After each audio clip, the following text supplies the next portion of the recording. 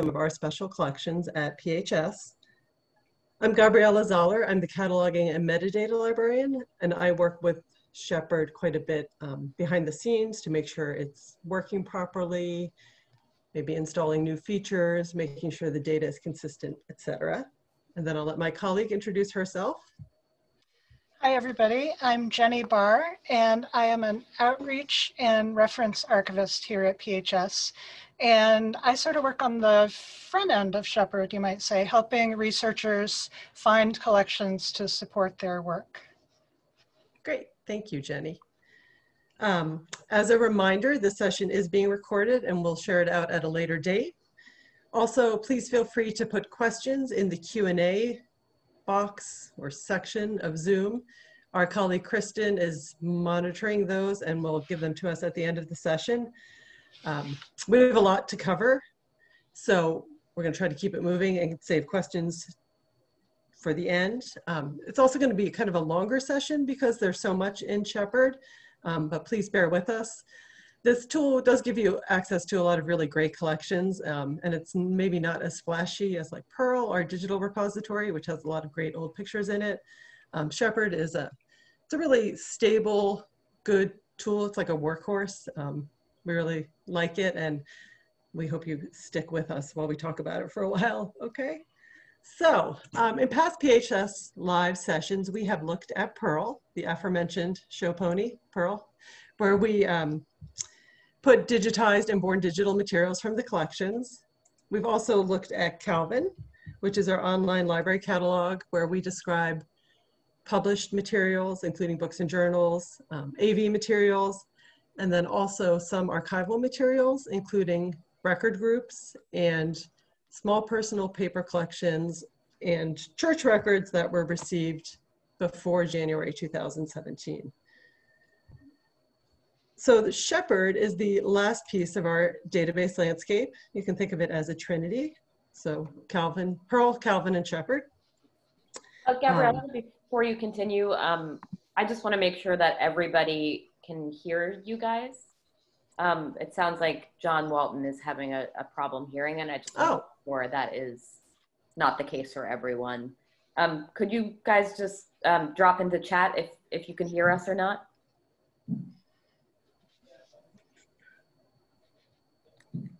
And I should probably say something just as a test. yeah. can, you can't hear me because I'm not talking. Okay, thank you guys. Um, I'm, I'm sorry, John, I could chat with you on the side, um, but I'll, I'll let you continue for now. Okay. Maybe you can always catch the, uh, the replay. um, okay, so we're now looking at the Sheppard homepage. Uh, I just want to point out that its URL is not particularly user-friendly. So once you get here, I recommend you bookmark it. Alternately, you can always get to this page by going to our website and then clicking on the collections tab, which will take you to this page. And then you can get to Sheppard by clicking this link here, okay? So we named Sheppard after William H. Sheppard, who's pictured here with his mother, I believe. Um, he was the first Presbyterian minister I'm, no, he was not the first Presbyterian minister. he was the first African American missionary for the Presbyterian Church in the US, which is the Southern Church. Um, and he served in the Congo. So we wanted to honor him. We also like that his name sort of echoes uh, the word shepherd because we hope that this tool is going to guide you as you do your research, just like this uh, shepherd is guiding her sheep. So Sheppard contains seven different databases, which are listed out here. If you click on any one of these, you're gonna get taken to a fuller description of the database, um, and then a link to search the database.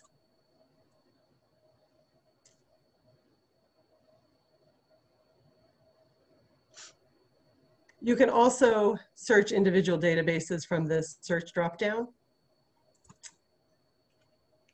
Um, we are going to look at most of these databases in a little more detail, but just by way of overview right now, I'll tell you a bit about each. The archives database contains records from national agencies and ecumenical organizations, um, papers from um, important or significant Presbyterians. uh, the synod, synod and congregation records received after January 2017. That should have been an and. And synod and Presbyterian congregation records received after January 2017. So if you came to the PHS live session about Calvin, you heard us say, if you're interested in archival materials, you should always search Calvin and Sheppard Archives, and we're gonna say that again today. The ar archival materials are described in both places, so you wanna search archives, but you also wanna search Calvin. Um, these three vertical file collections here describe respectively files about Presbyterian foreign missionaries, other individuals including clergy, significant lay people, domestic missionaries, uh, religious and Reformation leaders, and anyone else we have seen fit to keep a file on. Uh, the congregation vertical file index describes physical files about Presbyterian churches, as well as Presbytery synods, national church agencies, and other organizations, mostly like ecumenical organizations. Halls is a little bit of an anomaly in that it is not a catalog of a physical collection that we have at PHS. It's actually an index of mostly American congregations, so there are some international entries in there now. Um, and it includes information about where the church is located and then major events in the life cycle of the church, like when it was established, if and when it merged with other congregations or if it changed denominations, etc. Finally, the museum and tokens databases describe artifacts in our collections, and these include communion ware, artworks, textiles, um, objects that foreign missionaries brought home from the mission field. And then in the case of the tokens database, more than 4,500 communion tokens from the US, Scotland, and Ireland, as well as a handful of other countries.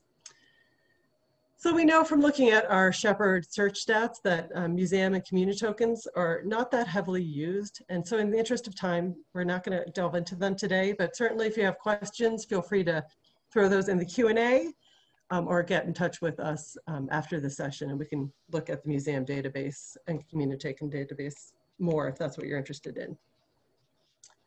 So one of the important features of Sheppard is that it has the ability to search all of these databases at once. So I like to think about this as though you have a eight drawer dresser and it's full of socks and you want to find your favorite lucky socks. So you're gonna have to open each one of those eight drawers and look for your socks. But if you had x-ray vision, you could beam in and find your lucky socks right away. So this quick search is what, uh, that's what we call it in the parlance of Sheppard. This quick search is like that x-ray vision. It lets you search across all of these databases at once. So I'm gonna show you a little bit about how to use quick search. Keep in mind that a lot of the searching principles I'm talking about apply just as well to searching within an individual database, which we're gonna look at a little bit later in the session. Um, so this quick search can be accessed when you're on the home page on this left-hand panel.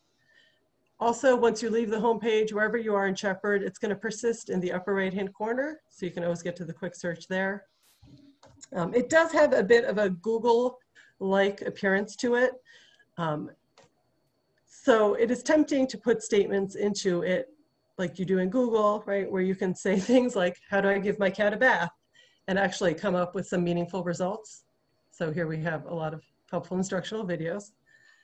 Um, this search box, although it looks like a Google search, is not that sophisticated. Um, so it just is going to search for your term or terms and match those against the records in the system.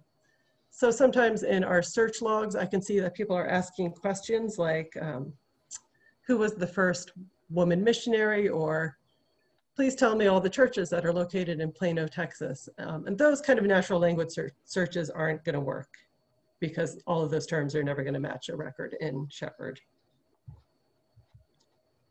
If you click onto the little question mark to the right of the search box, you get taken to a search help screen. This was created by the people who make the software behind Sheppard, so it's not specific to our context and it may not be that helpful. Um, I wanted to give you the option to read through it. Uh, a few important takeaways from here are the fact that if you put in two terms, so if I do, oh, that is not what I wanted to do. So if I search Iran and nurse nurses, it's automatically going to assume that I'm anding those two terms. So it's going to look for records that contain the word Iran and nurses. If I want to keep my search terms as a phrase, such as United Presbyterian Church, I put them in quotation marks. And finally, the asterisk is the wildcard character. So if you put this in any field, it's going to bring up all the records that have some value in that field. In a quick search box, because it's searching for any value in any field, in any record, this is how you would bring up every single record in Sheppard if you wanted to do that. I don't know that you do. If you have a lot of time to browse in the doctor's office, maybe that would be great. so by way of example, let's say I want to do some research on uh, Benjamin Weir, who was a Presbyterian missionary who was held hostage in Lebanon in the mid 1980s. So I know his name is Benjamin Weir. Uh, maybe he goes by Ben. Maybe his um, official name heading is Benjamin. Maybe it uses Ben. I don't know. So I have some things to think about when I'm constructing my quick search. I could do Weir, comma, Ben. I know that libraries and archives usually use last name, first name order for author fields and subject fields, but I'm not sure if I should do Ben or Benjamin. So I'm actually just gonna keep it really simple and do Weir. Uh, and I recommend that you employ a similar strategy when you're searching. So if you start broadly, then you can look at your results, kind of see what kind of information you get. Maybe you'll find the right subject heading, and then you can run another search using that subject heading. Um, so, you know, start broadly, cast a big net, narrow down your searches, or narrow down your search results, maybe do a few other searches to pick up records you may have missed. Um, but don't expect that your first search is going to get you everything you need. You need to think about this as like an iterative process. So if I do my quick search for Weir, which I run by clicking on the magnifying glass, I get 72 results. Here they are, it says 72 matches found. Um, in this summary by type area, I guess it's called the show drop-down menu, you can jump right down to a particular set of records. So I can navigate to the 14 archival records that were returned, the 10 foreign missionary files, et cetera, et cetera. So if you wanted to just go right to a certain record type, you can do that.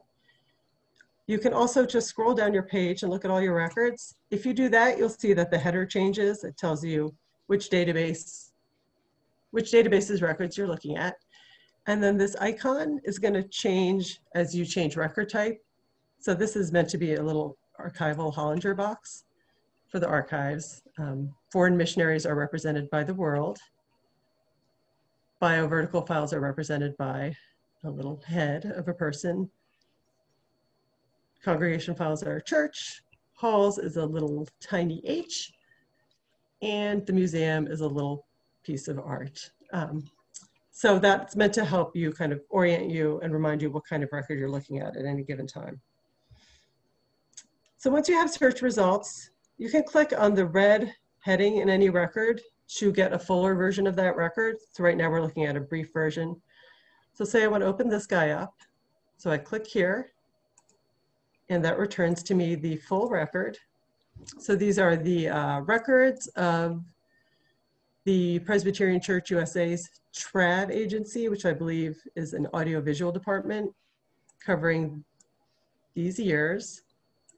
The collection is 138 boxes, which is giant. Um, and that is why there is a giant contents note on this record. So the system helps us out by highlighting our search terms so we see here that in box 60, there's some sound recordings of the Women's Conference, Coretta Scott King, interesting, and Ben Weir. So you can see here his name is entered as um, Benjamin Weir. had we searched for Weir, comma Benjamin, we wouldn't have picked up this record because there's a mismatch between the two phrases. So I'm going to scroll down and I'm looking for subject headings. And there's nothing, there's no subject heading for Ben Weir on this record. And that actually makes sense because this collection is about many, many things. Ben Weir is just like a drop in that ocean. So he doesn't quite merit a subject heading. Um, so we still don't know what the subject heading for Ben Weir is. But let's go back to our search results. I'm Gonna keep scrolling. I'm gonna scroll up and then I'm gonna scroll down. So once we get to foreign missionary vertical files, you can see we're getting some what we call false hits. So these are things where we are matched, but it's not who we want. So Euphemia Weir, here's our guy, Benjamin Martin Weir. But we get a lot of other Weirs, more Weirs. Lester Weir Crummy, whose name I love. Um, Lake Weir, churches in a city called Weir, etc. So in a minute, we'll, I'll show you how to refine your search so that you can drop out some of these false hits.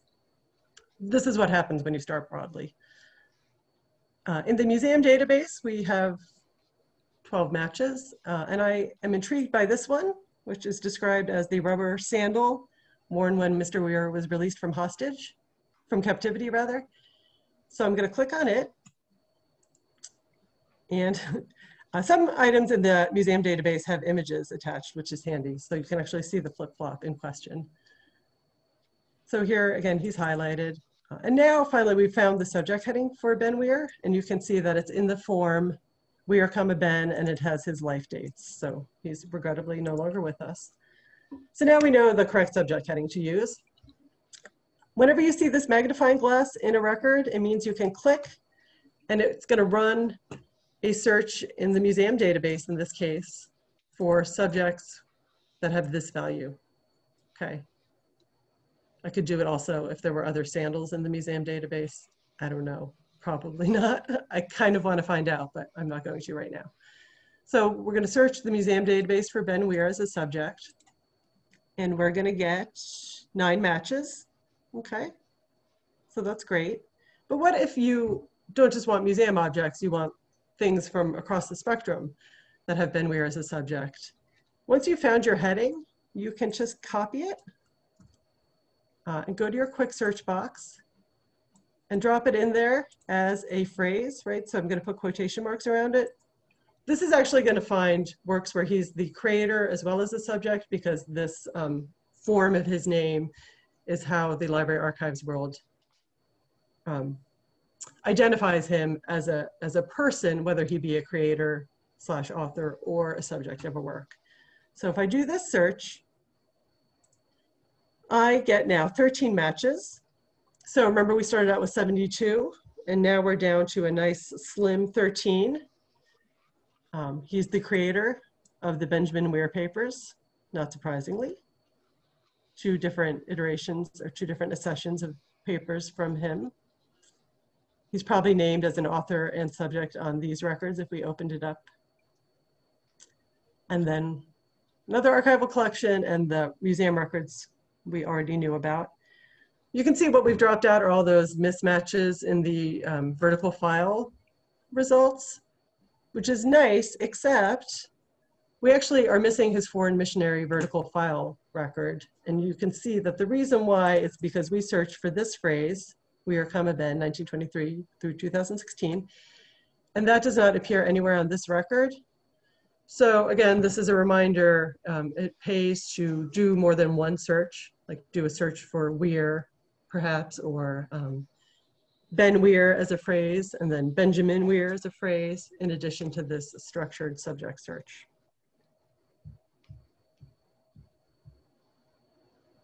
Uh, the good news is that Sheppard has a lot of tools to help you as you're doing all of the searching. So it helps you keep your, uh, stay on top of your searches and, and manage your records. So you can tick this little box next to a record and that means you've selected it. So I'm gonna select a few, I already got this guy.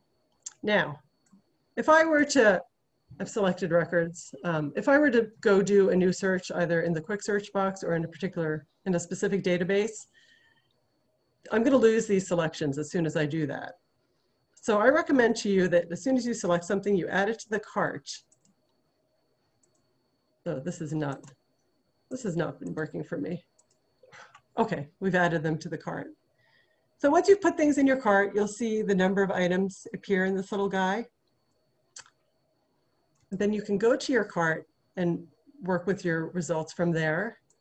Or you could now go on and do another search, get results, put some of those in the cart and keep doing that and just have the cart as kind of your place of safekeeping. Your cart is going to persist until you clear your browser cache. So if you're somebody who dumps your history every time you close your browser, there goes your cart. If you just let your history sit around and percolate for a month, you're going to keep your cart um, there until you clear your browser history by dumping your cookies. So keep that in mind. It's not forever, but it's for somewhere between a minute and forever. Just like a lot of things. So when you get to your cart, now you can again decide you, whether you want to select everything in your cart or just a few items or none of them. So I'm going to select everything. And now I'm going to use this left-hand menu to manage my records. Um, please note that tragically, you cannot email yourself records right out of the database.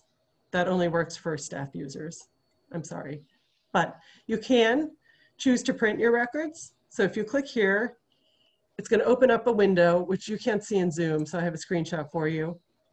That looks kind of like this, or it looks like this. Your selected content is below. Click here to print this window. So you could click there, print off your records. You can download your records as a PDF. And that looks like this. So it makes a nice PDF file of your records. And you could save this to your computer and then email yourself the PDF file.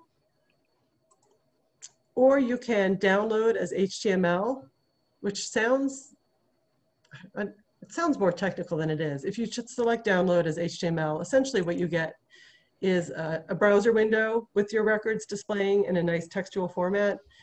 And again, from there, you could just highlight, this is a screenshot of the download as HTML feature you could select all this text and drop it into a Word document or put it into an email and send yourself an email of your records that way. So all of these actions um, that you can do in your cart, you can also do from your search results screen. Oops. I always type weird for weird. I'm sorry. Um, so if I just, I knew I wanted 100%, I want to print this right now or, or um, make a PDF of it, I can, and I have the same menu here. Um, but again, I counsel you to put things in your cart so that you don't lose them because we've all spent a lot of time selecting records and then had them disappear on us, I think.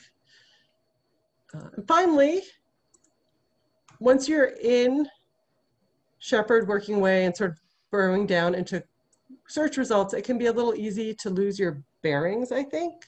So you have a couple of options. If you click this guy, you'll get back to your search screen with your search fields already populated as they were last time. You can also use this to come to the home page for Sheppard and the search to go to a search of a specific database. Um, this bar persists wherever you are in Sheppard, so you can always uh, use it to help you reorient yourself. Okay, I think, yes, that, that's all I wanted to say for now. I'm going to hand things over to Jenny, who is going to um, talk a little bit more about the specific databases. Okay, so I'm going to share my screen. Share. All right, I'm I shared? Excellent. Okay, I see thumbs up from Gabriela. Thank you, Gabriela. And thank you for the, the orientation to all of the great features of Sheppard that apply to all of the different seven databases. Um, I love this database and I can talk about it until the cows come home. So Gabriela is gonna help me stay on time and she's gonna give me the finger across the neck if I talk too much. Um, so I can see her on my screen. So that'll be good. She'll keep me, keep me honest. Um, so I'm going to talk about the archives database and then the three vertical file databases that we have here. These three are sort of um, of a piece and the archives database is a really rich resource for all of your archival research questions, whether you're doing academic work on the history of the church, whether you're doing genealogy. Um, it's a great uh, set of records to know about. So we're going to start from the home page of Sheppard, which is a good jumping off point for anything that you want to do here. We are going to, I have a picture of some of the archives in their natural habitat. So this is what we're going to be looking at. Um, not the files themselves, but the records that document the files. All right, so here is the um, landing page for the archives database. And I'm not going to go through all of these landing pages in a lot of detail. Gabriela mentioned that they have a good description of what's in each database. So definitely um, you can read up on those here. You see the little um, archives box icon, which looks just like the boxes on the shelves that we have. Um, I did want to point out all of these navigation features here uh, can help orient you. So you should always sort of have a good idea of where you are. Um, and the contact us for more information button down here has the email address of the reference staff the reference desk. So if you uh, find a particular collection you're interested in or you want more information or you get stuck with something, you can always um, email us at the reference desk and we will help you out. Okay, so we're going to click the search the archives database link up here. And with all of the databases uh, all seven databases in Sheppard, you have this sort of two-pronged approach for searching. You can do a, a, simple keyword search. It's very straightforward and basic, um, very much like the quick search that Gabriela showed you, although this search will just search within the archives database. But you can do the same thing. You can put in a, a phrase, um, uh, just a straightforward phrase. You can put it in quotes. Um, so what I'm going to do is uh, Gabriela recommended that we do a broad search. So I'm going to start with a broad search. Oh, I wanted to point out um, throughout the whole database, you'll notice that there is text in blue on a lot of the search pages. This uh, has some helpful hints about phrasing some of your searches so you can construct a good search. Um, they're not always super extensive, but if you really want to become the search master extraordinaire, you can click this Presto Web Help and you will get more than you ever wanted to know about searching. So I don't know if anybody really wants that much information about searching, so give it a try, but if you get stuck and um, you wanna do some some self-help um, about how to construct searches. There's lots of information here.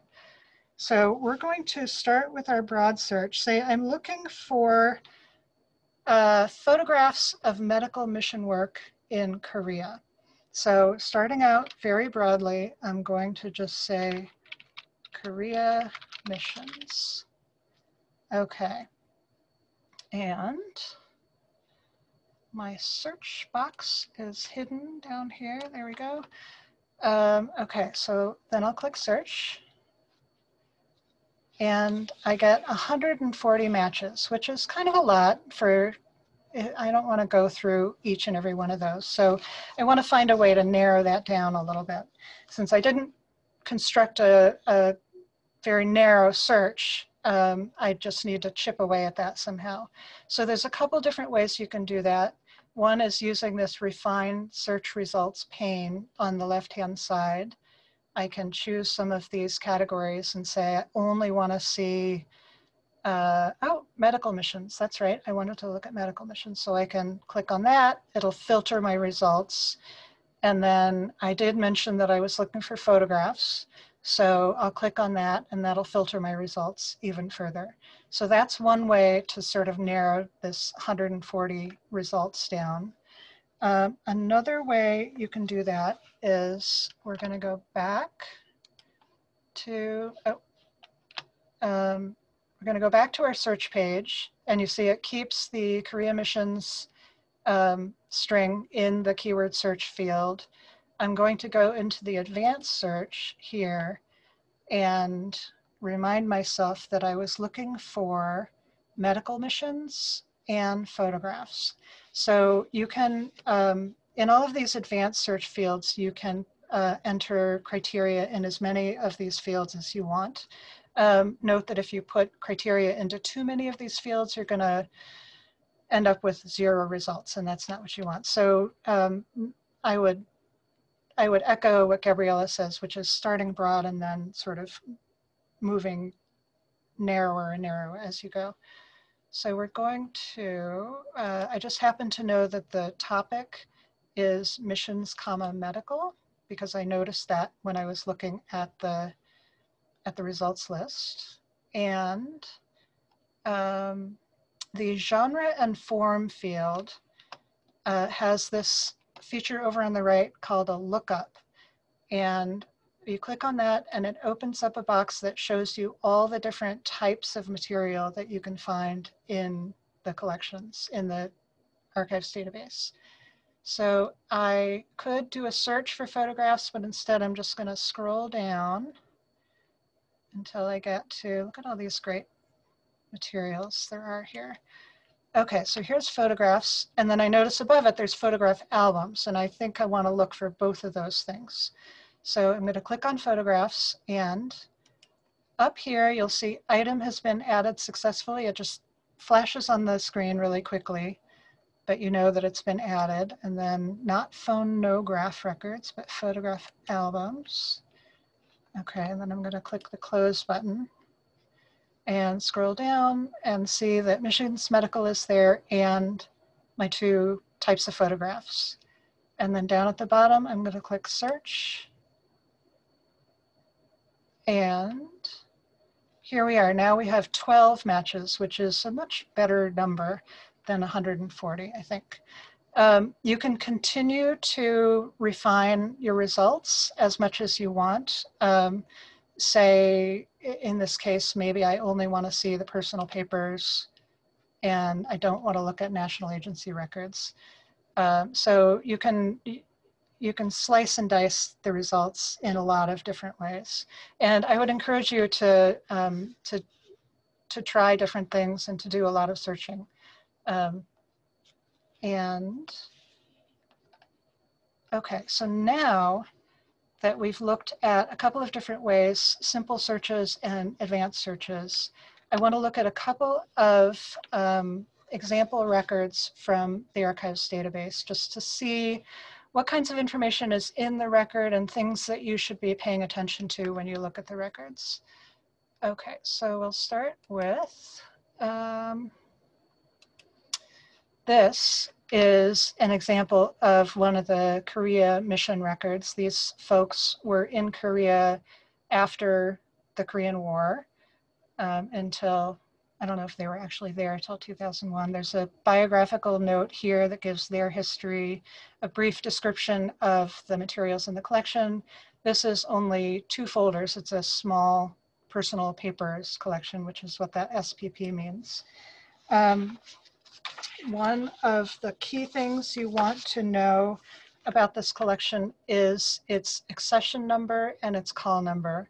When you're um, interacting with the reference staff and you're asking about this collection, they'll say, do you have the call number for this collection? And this is the information that they'll be asking for along with the title of the collection. So um, if you, you can say, I want the Pettus papers and we can look it up, but it's always lovely if people come prepared with this information. Um, another thing I want to point out in this record is you see all the subject headings with the with the magnifying glasses so you can you can search by subject heading through the archives database as Gabriela showed you earlier. Uh, we won't do that now. Um, what I want to show you is this link, browse this collection's digitized content.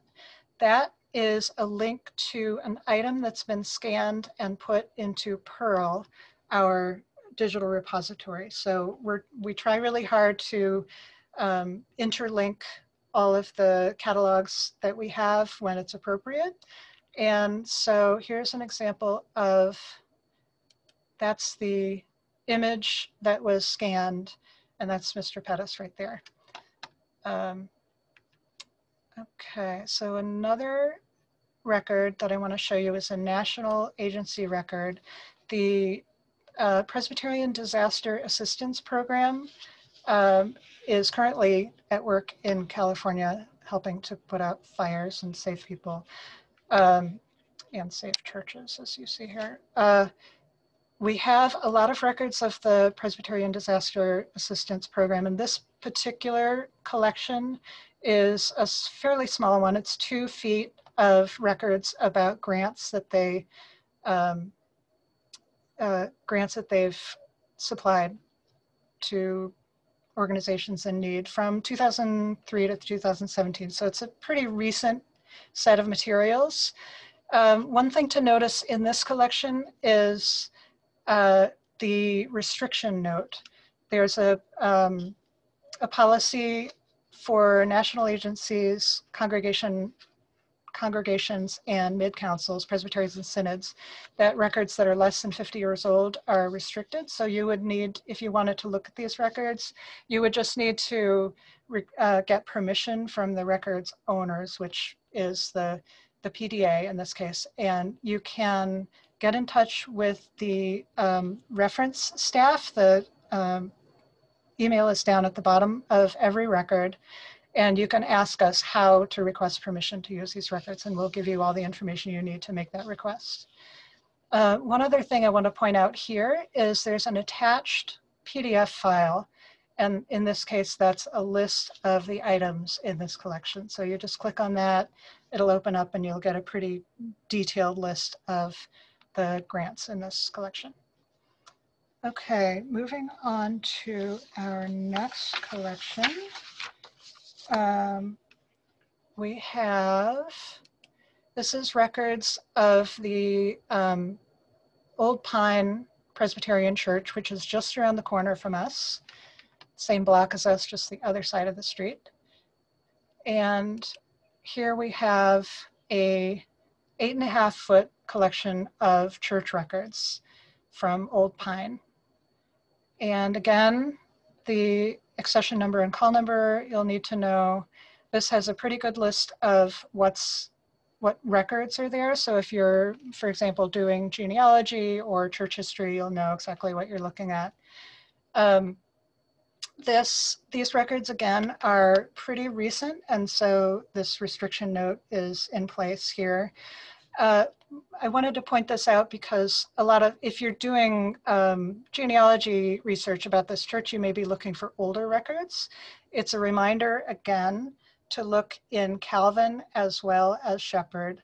Um, we have lots more records from this church um, and you'll find not everything is in one collection. There's lots of different collections. So you'll hit a bunch of different separate collections when you're looking at church history.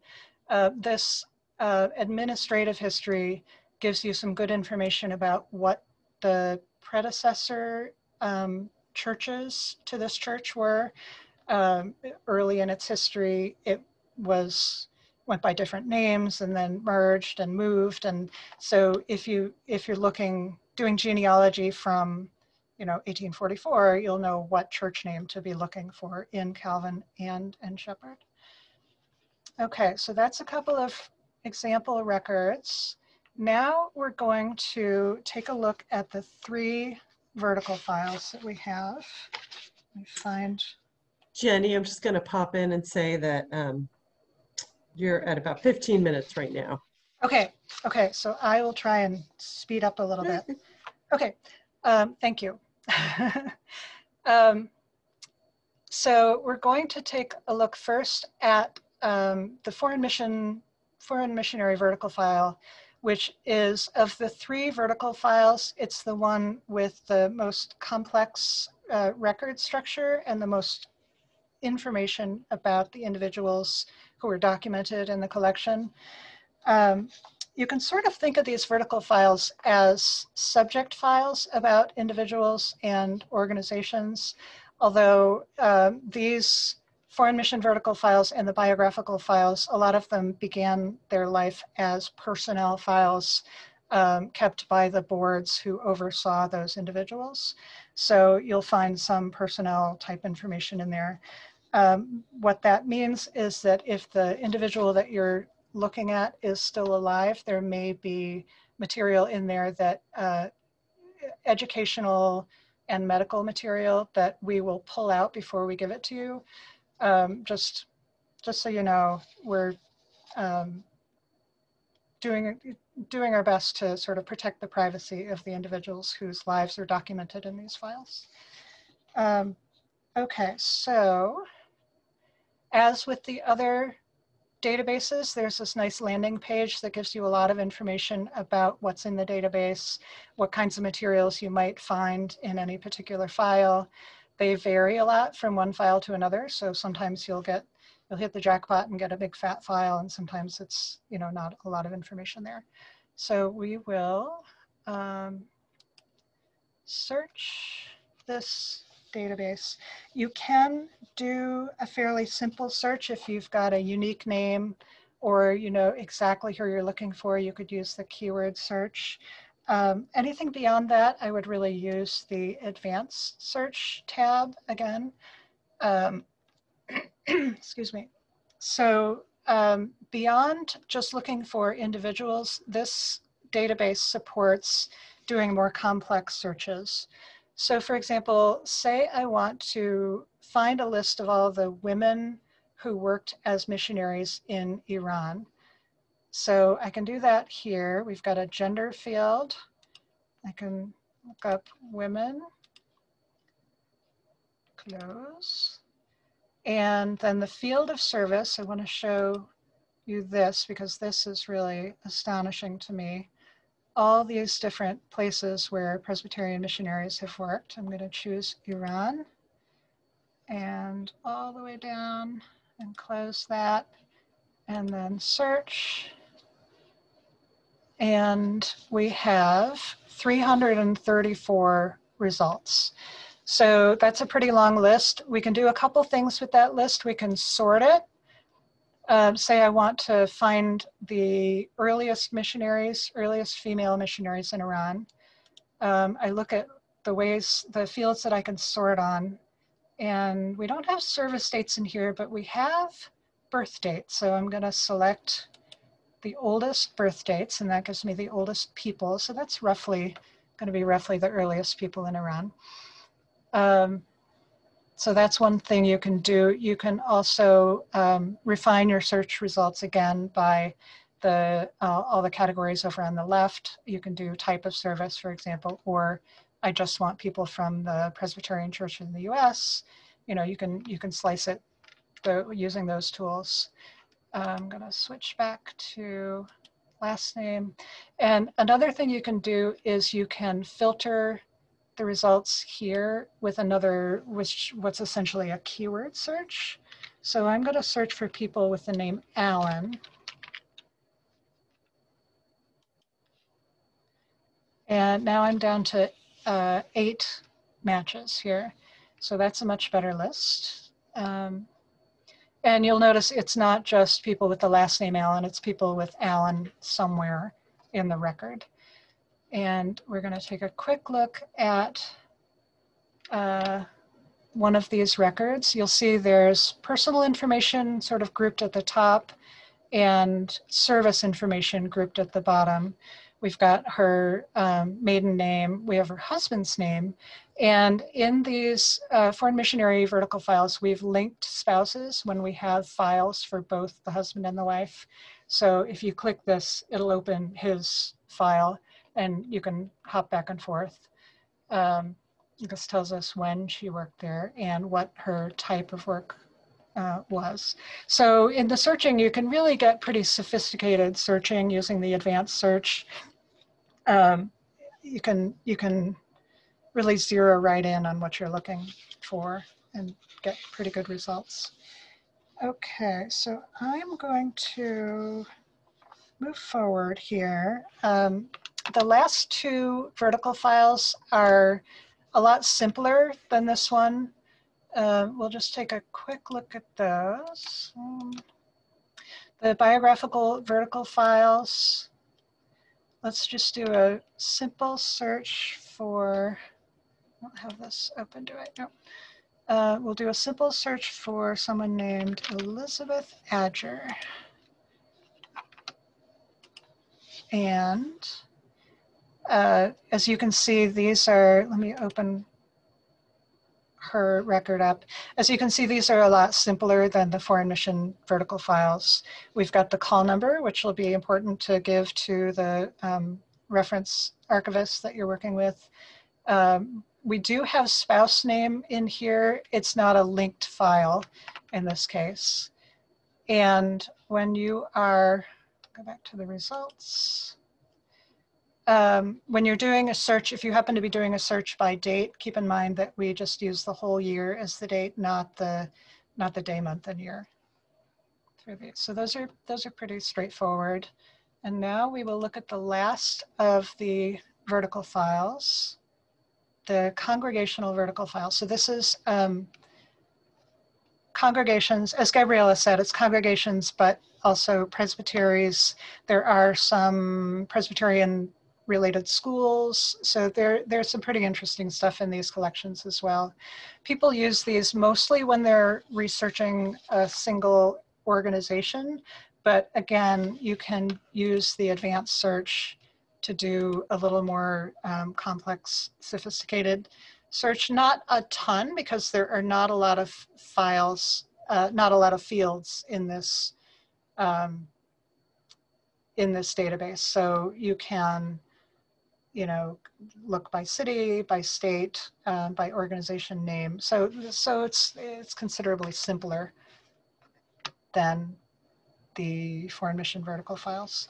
But um, you'll want to note when the call number, when you're looking at the call number, uh, we've broken the collection up into these series. So um, when you get a, a record, it'll give you a sense of what category of organization it is you're looking at here.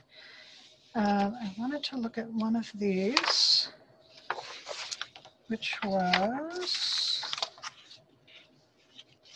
I've lost my place. Um, okay, I was just going to look at um, churches in Cincinnati, Ohio. This was going back to the very beginning of the presentation. Um, Gabriela said something about wanting to know what all the churches are in Plano, Texas.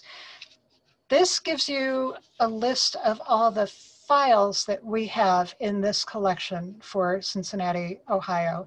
It does not give you um, any information about that church because it's not a it's not a directory or index of churches. It's just a list of what we have in this collection. So to find more information about the history of these congregations, um, a good starting place would be Hall's Index. And I'm going to turn it back over to Gabriela, who's going to tell you about Hall's.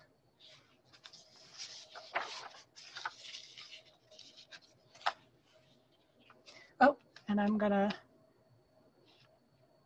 stop sharing. Okay.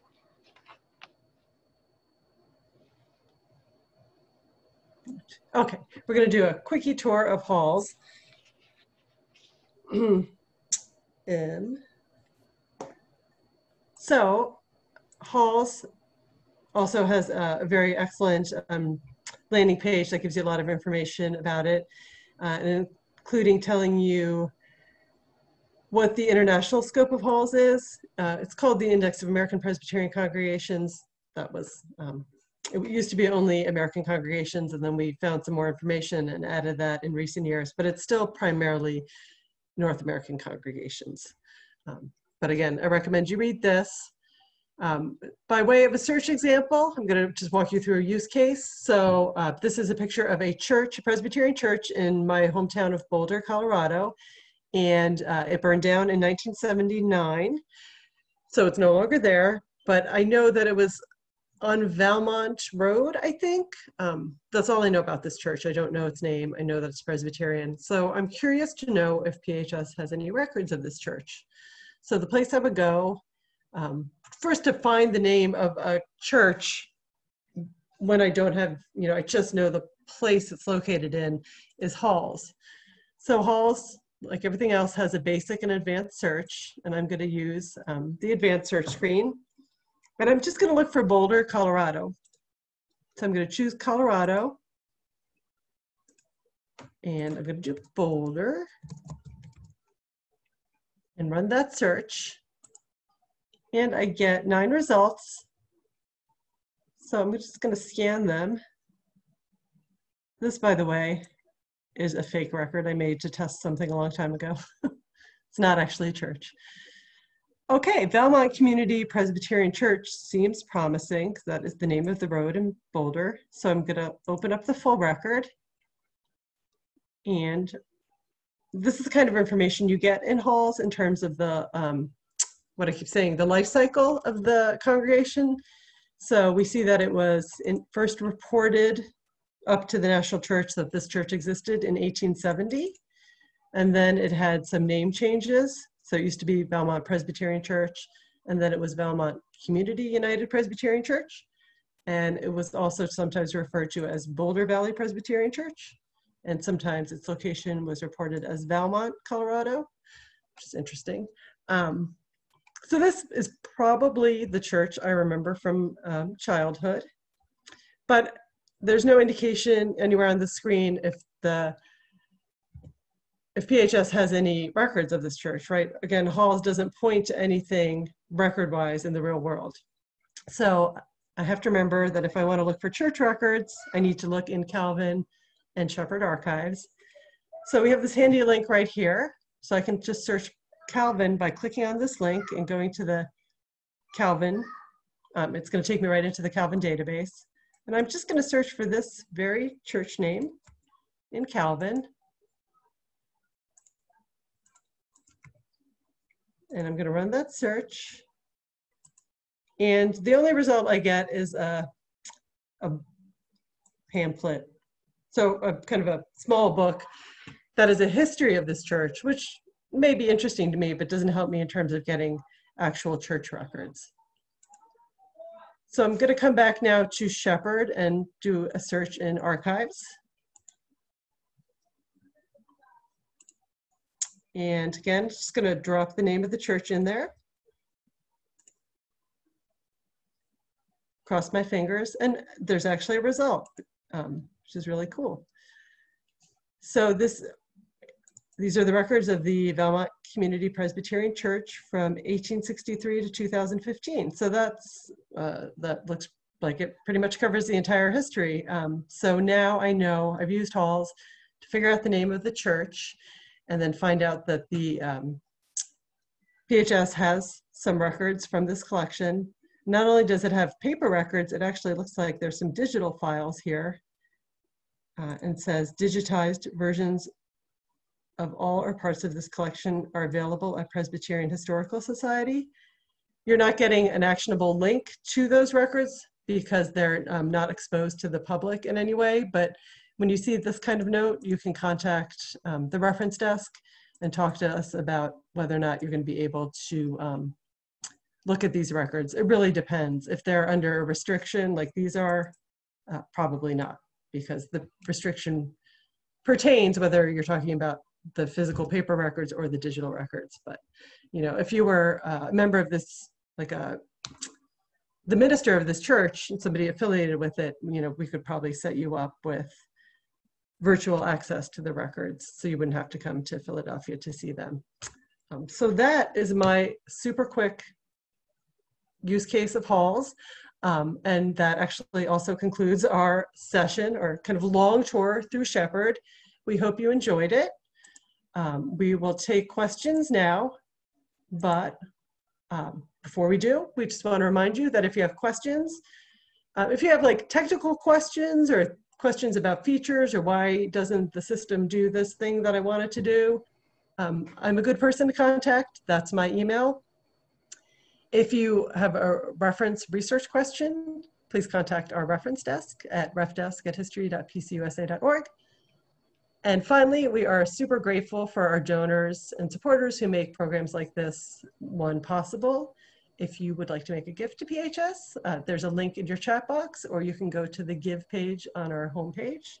Um, thank you so much for joining us and um, bearing with us. And please come back for our next PHS live session in two weeks. Thank you, Gabriela. Um, we had a question from Mary about accessing films that might be at PHS. Um, so could you talk a little bit about the films that we have at PHS and how might you find them in the database and then how would you view them after you found them? Jenny, do you want this one or I'm happy sure. to answer? Okay. Um, sure, I can jump in. Um, I would say like, uh, like anything else, um, there are like anything else we've talked about today, there are films that are described in Calvin, which is our um, online data, our online library database, essentially. There are also films that are um, described in the um, archives database in Sheppard. And I think one of the early examples that Gabriela um, showed had a lot of uh, audiovisual material in it. So um, you may or may not find a particular film by title. It may be cataloged by um, more generally by the the office that created it. Sometimes we've listed out titles of individual films and sometimes we have not.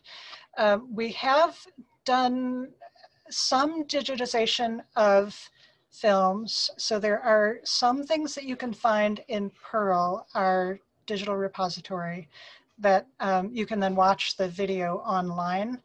Um, but the vast majority of um, films and sound recordings that we have have not yet been digitized.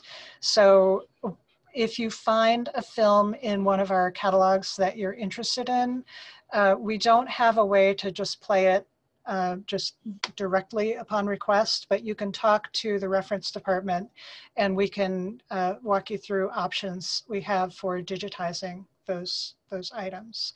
Um, we charge for that service um, almost all of the time because it's a fairly expensive and time consuming process to get those transferred into digital format. But we can walk you through the, the services that we have and the associated fees that come along with that. I just tried to put the link to digitization services in the chat, but I left off the HTTPS, so. but close, you'll, you'll get there. Um, one thing to note too is the, the way archives and stuff get put, stuff gets put in Calvin versus other databases is Calvin tends to be um, non-unique kind of published materials. So if it's like a commercially released film that the church put out, which they certainly did, uh, like a film strip or a, um, you know, something meant for broad distribution, those tend to be more in Calvin and things that are unique like home videos or recordings of an event tend to be in the archives database, but not always. Uh, we have a question from Diane. She was wondering if there are materials on Black abolitionist pastors of Presbyterian churches in Sheppard or Calvin.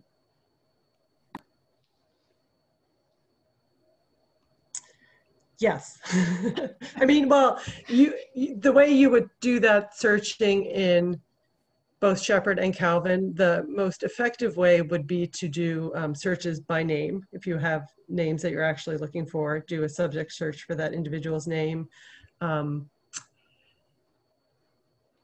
unless it's very clear as somebody is describing the material originally when it's archival materials that this person is a known um, abolitionist or the actual material is about the issue of slavery,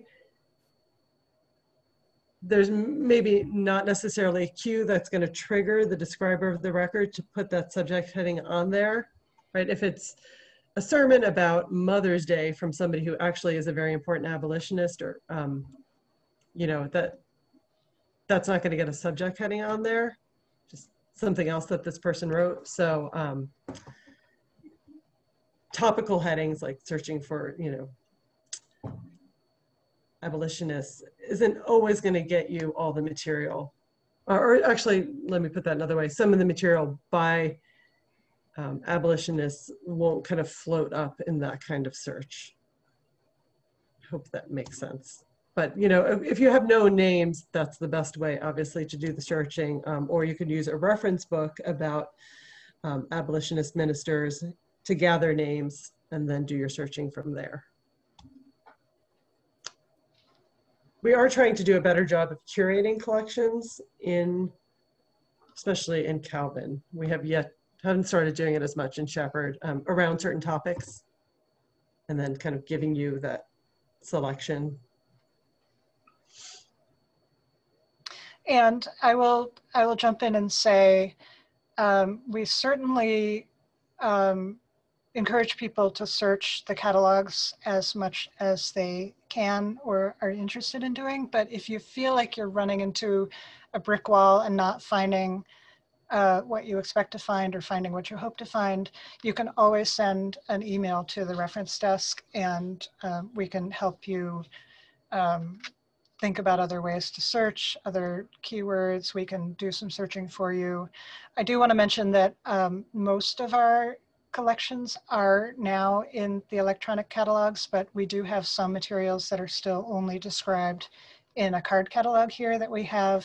So um, there's always that if you want to make sure you've checked all of the different boxes for collections that we have here, um, finding a way to, to look at the card catalog. If you come in, you can look at the card catalog once we're open to research again, which is not quite yet. Um, but we can do that on your behalf as well. We're, we're happy to do that.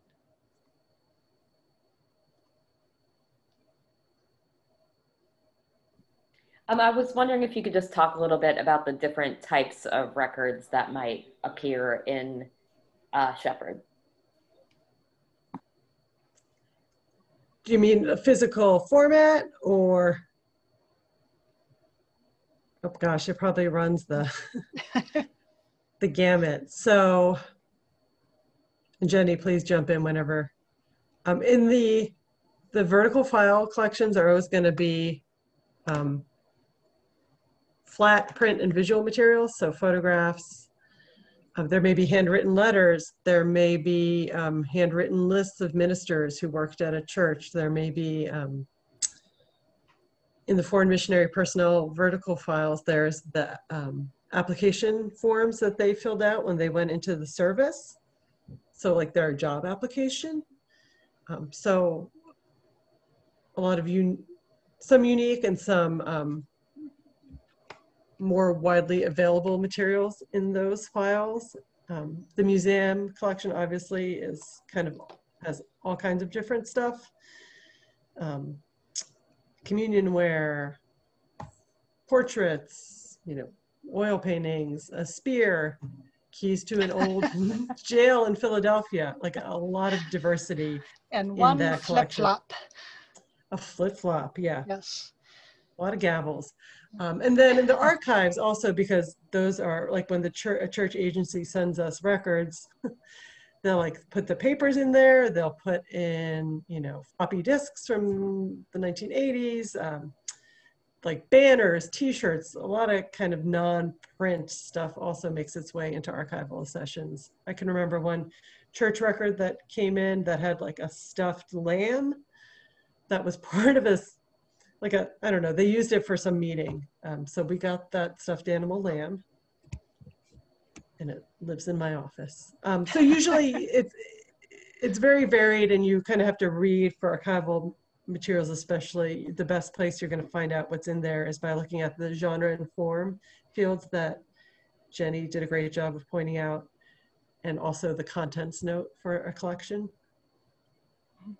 And just um, also as a general introduction of what's in each of the different seven, the seven different databases, that landing page they get, you get to for each database has a, it doesn't give you a lot of detail about the individual genres in the collection, but it gives you a description of the kinds of things that you can expect to find uh, documented in that database. So I really encourage people to read that over and it gives you a sort of a high level view of those records and then you can browse around in each database and as Gabriela said, read through the record description and that'll give you a better sense of the materials you'll find. And it is, there's quite a variety in all of the databases except the communion tokens, which is one thing.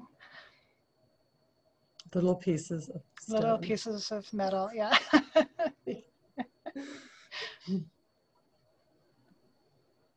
Does anyone else have any questions?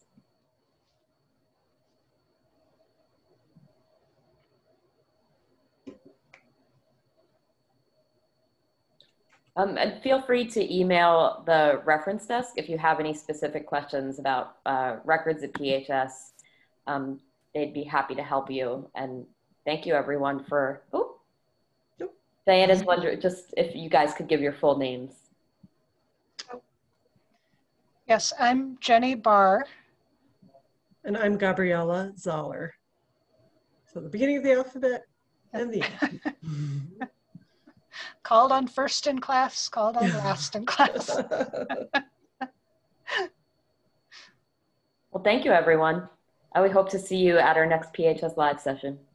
Thank you. Thank you. Thank you, Kristen. Yeah, thanks, Kristen.